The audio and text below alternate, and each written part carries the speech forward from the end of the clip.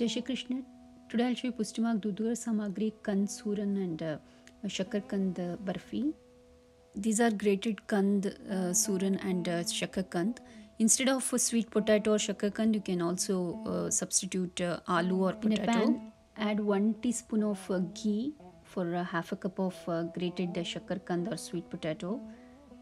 Shallow fry for uh, uh, 7 to 8 minutes. You can see it has changed its color. This is the thick sugar syrup uh, of two string consistency. Add cardamom powder to it. So fry all the three um, root vegetables. Now to this add the thick uh, sugar syrup and mix well and set it uh, in a plate like this.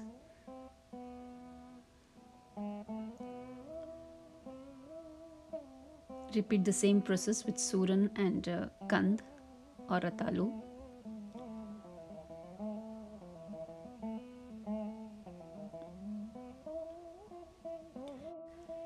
You can also try adding a little kova or suji, uh, just uh, uh, acts as a binding agent. Haven't added here.